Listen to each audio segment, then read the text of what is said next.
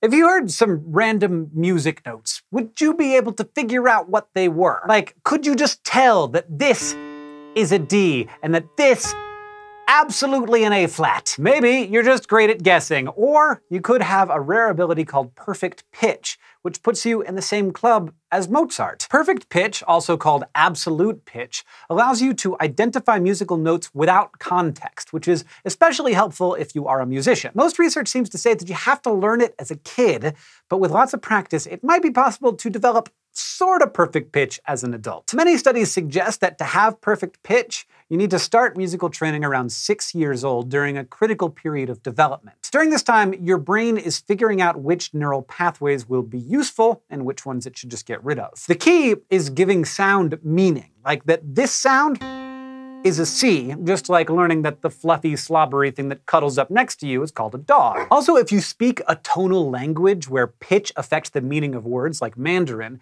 you could be more likely to develop perfect pitch since your brain has been associating different pitches with meaning from the start. But if you're not actively learning musical notes, your brain will get rid of those extra sound identifying connections so it can become more efficient. Most of this research is correlational, meaning that scientists didn't manipulate any variables and like teach babies certain combinations of language and musical notes. But it still makes sense with what we know about how the brain develops. If you missed that critical period of development, researchers aren't sure if you would ever be able to develop true perfect pitch. But some studies have found that adults can be trained to better identify notes, which can last for months. In a 2015 paper from the journal Cognition, researchers tested 17 university students with various musical backgrounds but no perfect pitch and got a baseline for how well they could name different notes and recreate notes that they just heard. Then the participants went through training where they listened to 180 piano notes and were asked to name them, and then got corrected when they were wrong. After all that, the participants did the baseline tests again and scored at least 8% better, and their scores were still higher